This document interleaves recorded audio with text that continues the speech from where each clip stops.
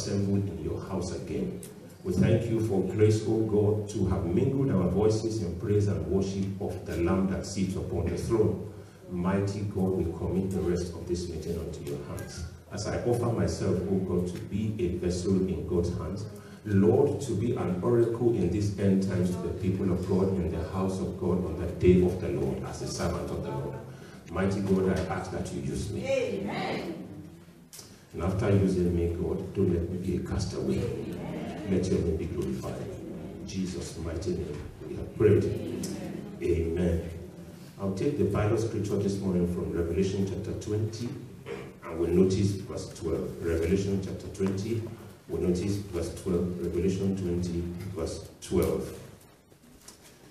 Bible says, And I saw the dead, great and small, standing before God, and books were opened. And another book was opened, which is the book of life. And the dead were judged according to their works by the things which were written in the books. The Bible says, Once have I spoken, twice have I heard. So I will read it again.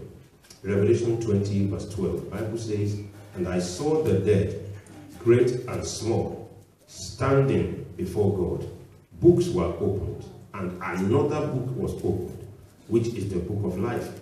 And the dead were judged according to their works by the things which were written in the book. Now, when the Almighty God called me and gave me this assignment, it was very clear. He said, I have called you to save the Redeemers from eternal sentences. And I've tried to walk within that statement ever since then. I, I, if you want a topic for this message, it's just simply the book of life. The book of life. It's important that we remind ourselves of this dimension of the gospel once in a while. The message that I'm about to preach this morning, uh, for those of us who have been here for, for long, I preached this message exactly six and a half years ago. So I was looking through the messages that I, God has helped me to discharge, and God said it's time to repeat this message again. And I will start by simply saying that when we started our elementary school, one of the things we were introduced to were books. And in those books, we can either read from them or we can write on them. So when you use a book, particularly when you write in a book, you are documenting three things. The first one, you are either documenting your thoughts now, your thoughts could be your opinion, it could be your imagination, it could be your beliefs, could be your philosophy, it could be your feelings. The second thing you are doing is that you are documenting words. So you might document an agreement, you might document a covenant, you might document a letter, it might be a check. And the third thing you are doing when you are writing in a book is that you are documenting your deeds. In other words, your actions. So that might be uh, something that you have been called to do, maybe the performance of it or the recording of it. So when you write in a book, you are either writing your thoughts, you are writing your words, or you are writing your deeds. Now, as soon as you commit any of those three things into writing, they become one, two, they become one, permanent. Number two, they become evidential. And number three, they become a reference point. Three things you are doing when you write things down. Number one, you are writing your thoughts, you are writing your words, or you are writing your deeds. And as soon as you write them, the three things take effect. Number one, they become permanent, they become evidential, and they become a reference point. Now, when we were in school, each of us had a file it might be physical, it might be electronic. Or whether you work in a hospital or in your place of work or whatever area of life you are, things are documented. And the moment they are documented, they become a reference point. After being a reference point, they become permanent and they might also become evidential in future. That is what happens when things are written down. Now let's go back to our scriptures with that background. Revelation chapter 20, verse number 12. Revelation 20, verse 12. And I read it again. And I saw the dead, great and small, standing before God. Books were opened, and another book was opened, which is the book of life. The dead were judged according to their works by the things which were written in the books. I've come to show you a book today which is called the Book of Life. The moment a man gives his life, certain things happen to him. Bible says, all things are passed away. He said, Behold, all things becomes new. That's on this side of creation. But on the other side of creation, which is heaven, certain things also happen. And one of them is that the person's name is written in the book of life. Now, the word of God says in verse 12 that we read, And I saw the dead. And I saw the what? The dead. Great and small when he said, I saw the dead, great and small, let's look at the great people of this earth. Maybe presidents, maybe generals, maybe bishops, maybe chairmen of parastatals, maybe doctors, maybe professors. Those are the people that we count as great on this earth.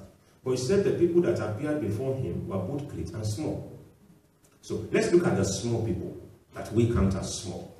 Maybe um, poor people, sick people, and folks like that.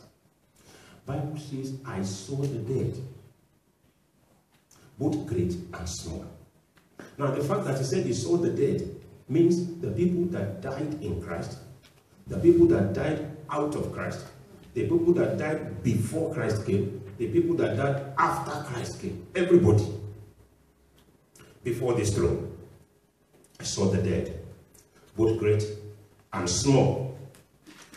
Now, reading that verse further, he said he was standing before an altar. Standing before an altar. In other words, standing before their maker. They weren't sleeping before their maker. They were not eating before their maker. They weren't walking, they weren't pastoring, they weren't studying. He said they were standing before their maker. Expectant. Because the word of God says, He that is faithful, let him be faithful still. He that is not faithful, continue. He said, Behold, I do what? I come quickly. And my reward is with me to pay it to everyone according to his works. Now they were standing before the throne. They weren't standing before their parents. they weren't standing before their friends, they weren't standing before their teachers, they were standing before the throne. Ladies and gentlemen, a day will come when you and I will be one of those people mentioned in that verse 12. He said, I saw the dead, the ones that died before him, the ones that died after him, the ones that died in Christ, the ones that died in, in juju, the ones that died in cultism. I saw everybody standing there so it's not a time to sit down anymore. It's a time to say, attention, I am here, sir. Have mercy on me. That day, there's no way anybody can escape it. It will come. And when it comes, I have come to challenge you today. What will be the voice of the one that sits upon the throne to you? And in challenging you, I am also challenging myself that when I stand before him to give the account of my stewardship on this side of creation, what exactly would be the judgment that will flow from that throne to me? Look at that verse 12 again, there's so much in it. Bible says, and books were opened. The books there is plural, and books were opened because there are many books. Remember the story of uh, uh, uh, Esther? Bible give me the book of remembrance. That's a book. Bible says Daniel, after 70 years, he understood by the volume of the books that they were supposed to spend 70 years there. There are so many books there. If you read that scripture, it said, and books were open. But he went forward to say, and another book was opened, which is the book of life, singular. It didn't say the book of lives, the book of what? Life. Because it's about your life at that point. It's about my life at that point. Death would have already received his own judgment, so he can't play any role anymore. The seas, Bible says the seas, as big as they are, they will be rolled up. I don't know how he will do that. He said seas will be rolled up, which means they are laid out in the first place. So at that point, death cannot come to terminate any affliction or any evil judgment or any negative judgment that anyone receives because death is already standing before his own maker too, giving account of what he did. After salvation, after your name and my name has been written in the book of life, people of God, that name can be removed. There's nothing like one saved, forever saved. Is the lie of the devil, and I'm sure you must know that. I said that was it last week or on Friday, I think last week, that powerful as the enemies, principalities, powers, spiritual wickedness in high places may be, they can take anything from you, but they can't take the Holy Spirit. They don't have they, they don't have the capacity to do it. It's missing. It's not part of their creation. So they can't have it. But sin, no matter how small, can quench the fire of the Holy Spirit. Especially when the Spirit of God has been consistently reminding you and charging you and directing and encouraging you to drop the life of sin. At some point, he takes his hands off. Because Bible says Ephraim has decided to join himself with idols. Bible says, leave him. The Spirit of God will not leave you. Amen. The Spirit of God will not leave me. Amen. Saul was anointed. But he kept on committing the same sin over and over and over and over again, which was disobedience. At the end of the day, the Spirit of God left him, and an evil spirit replaced him because there's no room for vacancy. And then went on David. The spirit that God has blessed you with, sin will not take it away from you. In the name of the Lord Jesus Christ. He said, Those whose name are not found in that book of life, those whose names are not found in that book of life, he said they were taken into hellfire. In which book is your name featuring prominently? In which book is my name featuring prominently? Do you still have alcohol in your wine bar at home? Do you still smoke? Because people do it. Let's face the fact. Do you still smoke? Do you still take alcohol? Sin, no matter how small, Bible called it the, the, the living that living at the whole lump. Friendship with the world. Bible says what? It's enmity with God. I think was it last week. Jesus writing to a church. He said, I prefer you to even be cold. At least I know he's a cold man. But when you are warm, when you are lukewarm, he said, I will spew you out of my mouth. God will not spew me out of his mouth. Amen. And God will not spew you out of his mouth. Amen. Back to that scripture. In what book is your name featuring prominently? Is it Facebook? It's a book. Is it not a book? It's a book. Some people have one million friends on Facebook. I have no problem with Facebook. Christians work in Facebook organization. Christians are shareholders of Facebook organization. Facebook provide food for Christians and it put food on people's table. I have no problem with it. Some people are even friends with the queen on Facebook. Some are friends with Obama. Anything that comes, they just accept. Anything that comes, they just accept it. but they are not taking the same degree of care or the same level of commitment to maintaining their name in the book of life. I spoke about 99.99% for him. That's because he's a man. Now I'm a man. 99.999% is not enough to keep our names in the book of life. It has to be 100%. God will not lower his standard because of any man. Not even a bishop or an archbishop. He will not lower his what he was is what he is, and what he is is what he will be. No variableness and no shadow of turning. Nothing will change. Unchangeable changer. Let's be careful the way we live both in church and outside church. I'm not being unnecessarily harsh. I'm just doing what he has called me to do. I was in a meeting yesterday. You will see the grace on the topic that the man chose and the way he actually dealt with it. Because that is what he's asked to do. And everybody left the place blessed.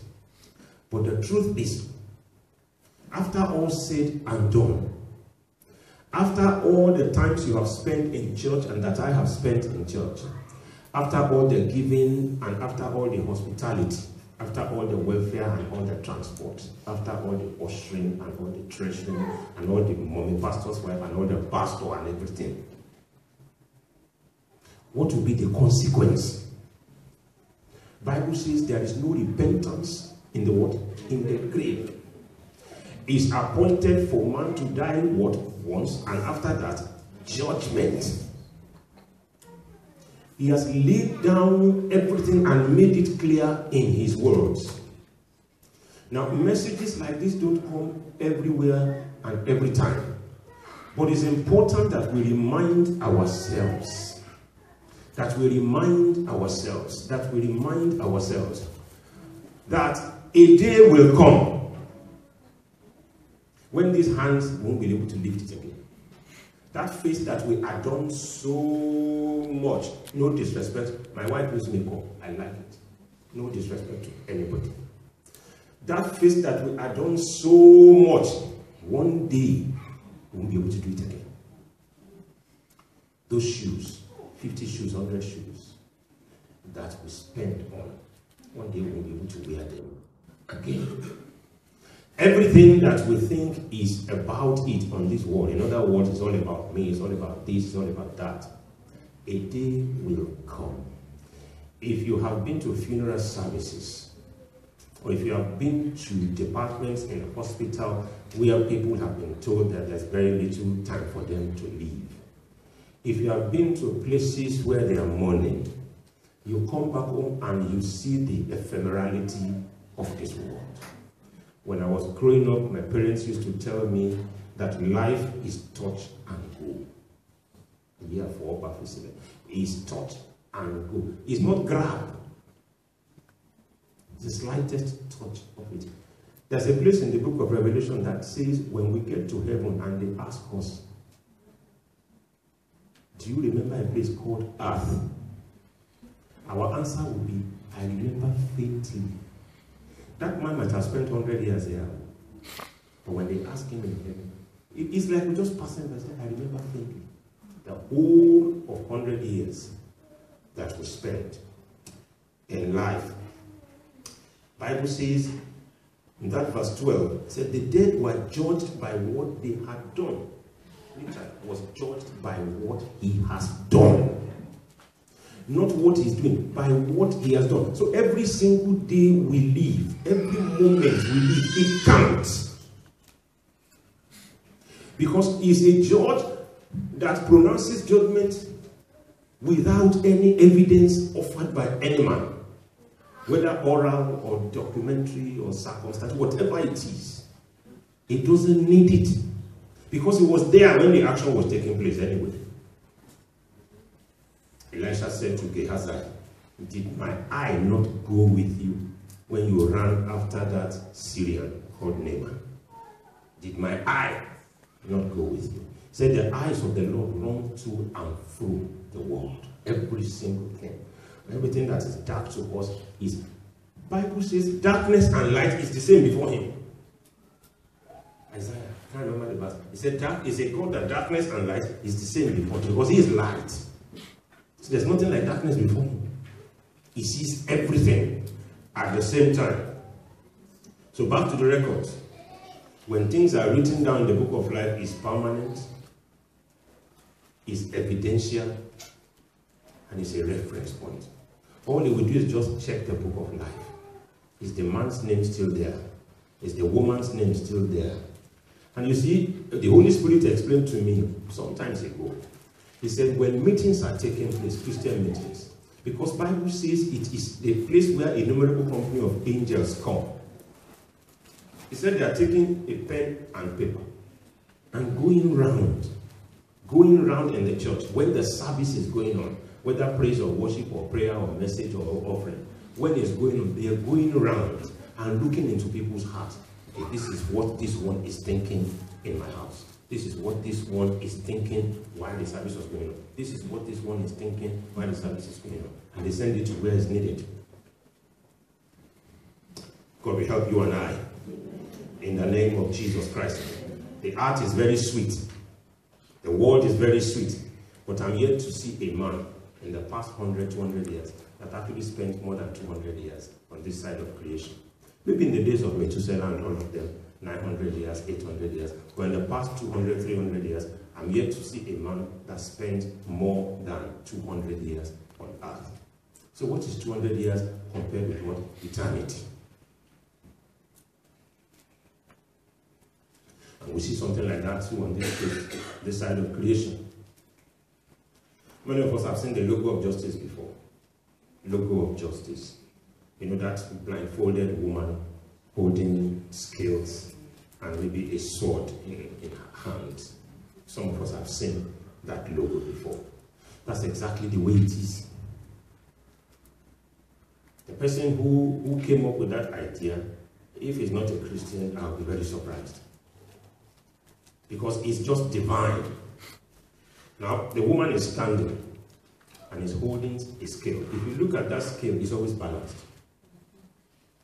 Scale, no, no one, not, one is not tilting this way or going, it's always balanced.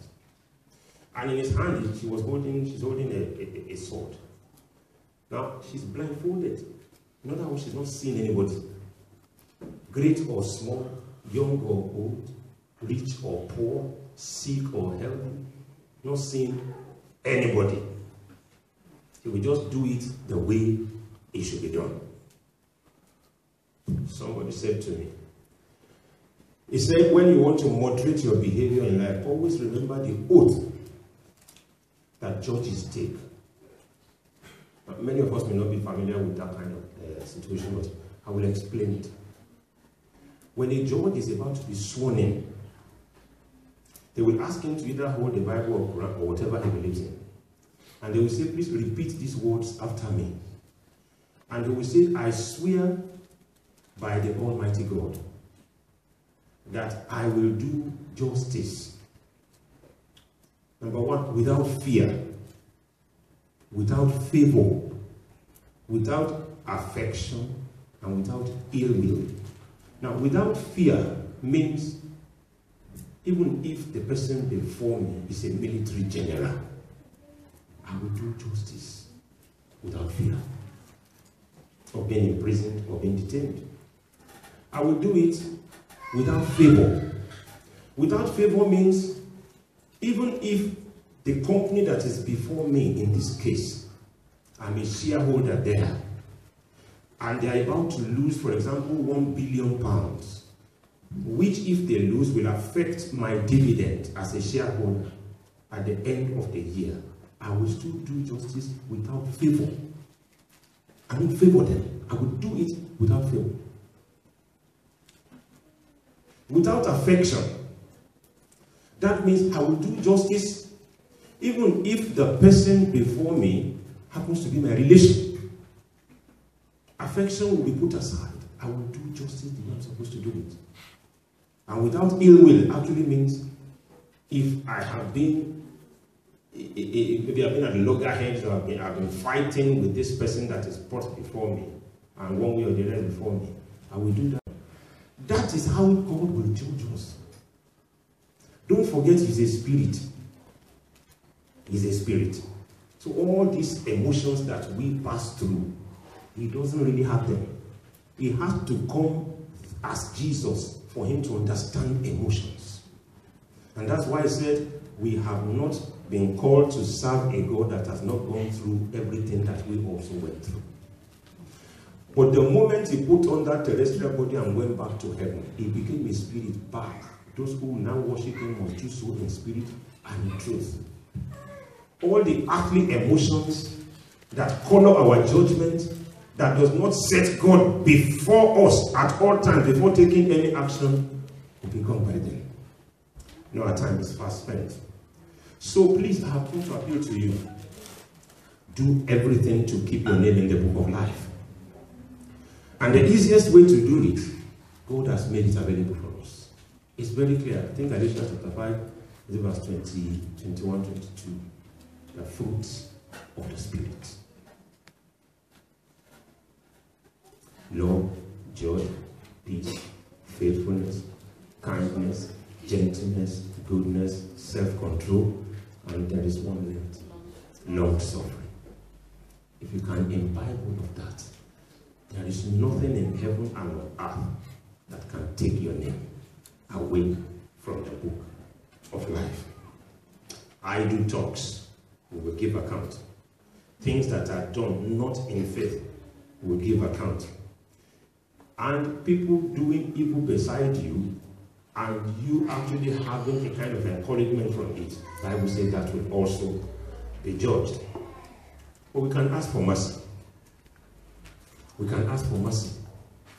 When we ask for mercy, he said he will look down and I will cleanse you from every single unrighteousness. Every single unrighteousness. Every single unrighteousness. And the mercies of God are beyond comprehension.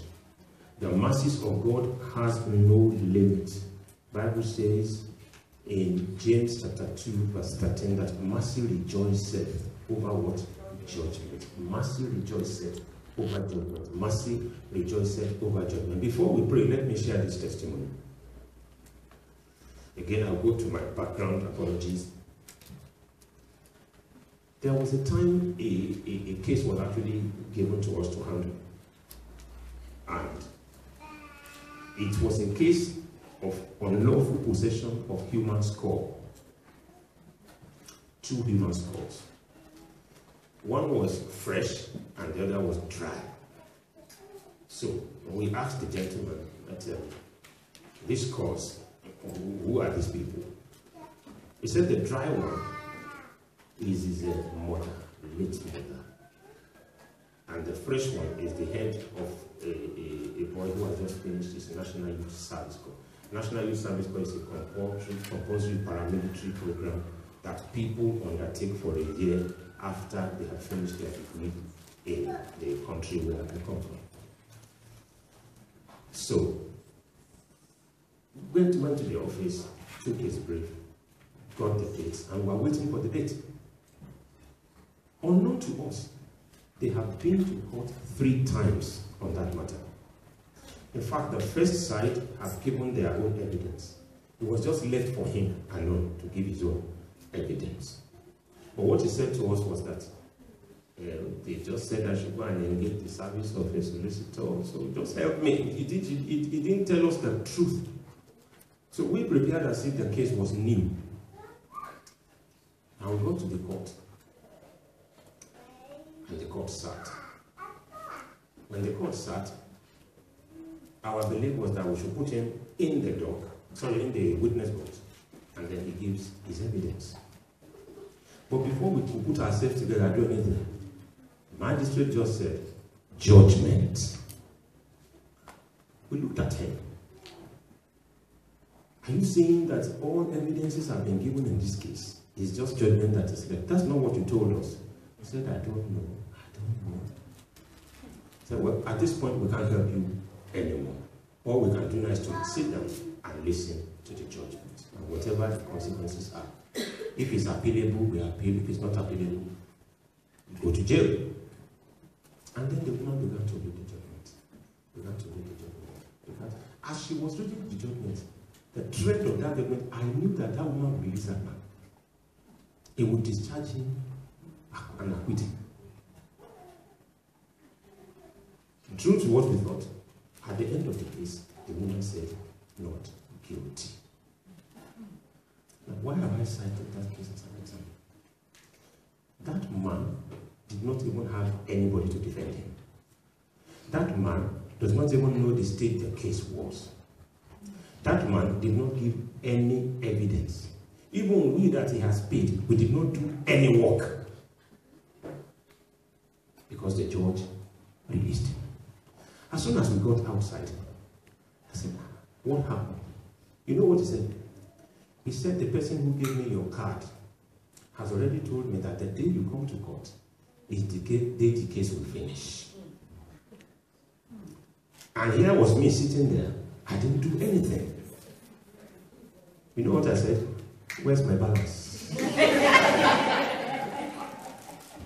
Praise the Lord. I didn't do it, but I was a child of God, and God has told me. That's what the mercy of God can do. Mercy of God working for everybody in the matter.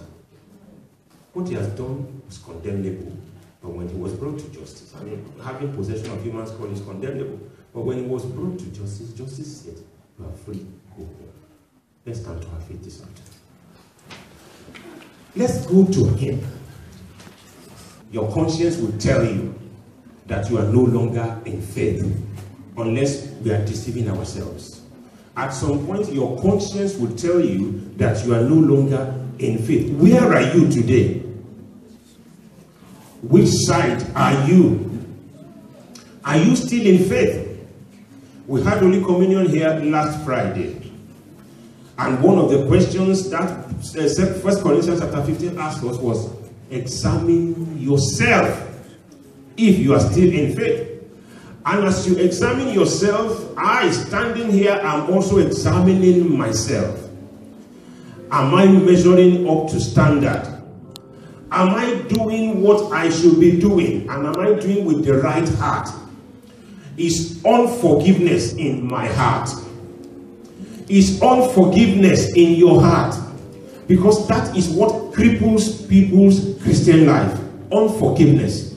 You notice an offense somewhere, you can't remedy it, and you carry it everywhere you go. Let's go to God. Bible says, out of the abundance of his mercies, he has rescued Israel. Let's go to him and say, Father, here I am, here I am, here I am, here I am. Here I am. Is there any iniquity that has been found in me? If the trumpet sounds today, will I rapture with you? If you come calling the saints home today, what will be my portion? Am I still in faith? Am I still in faith? Is my name still in the book of life? Heavenly Father, wherever I need, wherever I need any amendment or repair to my Christian life, save me, O God. Help me, O God. Take iniquity away from me. In Jesus' name we have prayed. Father, we just thank you this morning. We bless your holy name. Thank you for your word. Calling the saints home, oh God. Mighty God, I pray that voice that comes to the children of disobedience that says, Go away from me, you workers of iniquity, I don't know you. Don't let that voice come to us. We live in the perilous time, we live in dangerous times. Everything that will that will kind of go or, or happen before the Antichrist comes, everything is here with us. Holy Spirit, help us. Holy Spirit, help us. Holy Spirit, help us. In the name of Jesus. Thank you, Father. In Jesus' name we pray. People of God, let's pray one more prayer. If you read the book of Revelation, Bible says there was a dragon like the shape of a woman who was drunk with the blood of the saints. Bible says he was riding on a horse, but he's drunk with the blood of the saints. That dragon is already installed as a statue in front of the European Union Parliament. If you go to Brussels now, is there. The say number 666 will be the mark of the beast, the mark of the Antichrist. If you go to the European Parliament in Brussels, you will see that seat number 665 is occupied. But number, six, seat number 666 is empty. And then seat 667 is occupied because there are 679 seats in that parliament. So seat number 666, Google this information you find it there, is empty. Because they are waiting for him to come. To come and take his position in that parliament, European parliament. And in front of that parliament, the statue there, you can Google it, you see the image there, you see that woman riding on a horse with the, drunk with the blood of saints. Everything is ready. His seat is ready there for him to come and occupy. It's between you and I now to make a decision. To make a decision. To make a decision. Lord, when you come, find me worthy. When you come, find me faithful. It's beyond me. It's beyond me. I don't have any ability to keep myself in the book of life except your mercies, except your grace, except your favor. Help me, God. Help us as a church. Open our eyes to see the seriousness of the situation. That seat number is vacant, is not occupied. They are waiting for him to come and take his seat. Shikas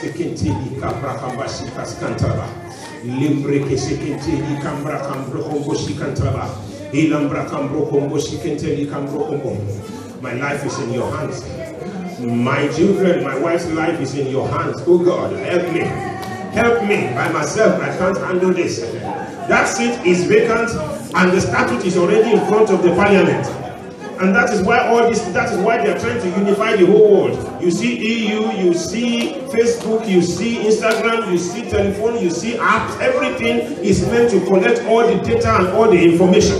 Everything is ready. Everything is ready. Everything is ready. But God, make me ready. Everything is ready, but are you ready? Everything is ready, but are you ready? God, make me ready. Make me ready. Make me ready. Make me ready. Make me ready. Make me ready. Take every spot away from my garment. My garment of righteousness, oh God. My garment of righteousness, oh God. Lord, take every take every stain away from it. Take every stain away from it. Take every stain away from my garment of righteousness. Take every spot and wrinkle away from it in the name of Jesus. Let your mercy, let your mercy help me. Let your mercy help me. Let your mercy help me. Let your mercy help me. Let your mercy help me. In the name of the Father, and of the Son, and of the Holy Spirit. Thank you, Father, Lord. In Jesus' mighty name, we have prayed. Amen. Joining us today at the of God, our Savior's Branch, 112A Norton Road, TS202AQ. My name is Pastor Richard and I believe that you have been blessed by the infallible Word of God that you have had today. The Word of God always has the ability and the capacity to bless, and there is no God that remains the same. And I believe that your life will no longer be the same. Join us again next week, and you can also follow us on social media. You can follow us on Twitter and the rest of them. And I believe that your life will not be the same again. God.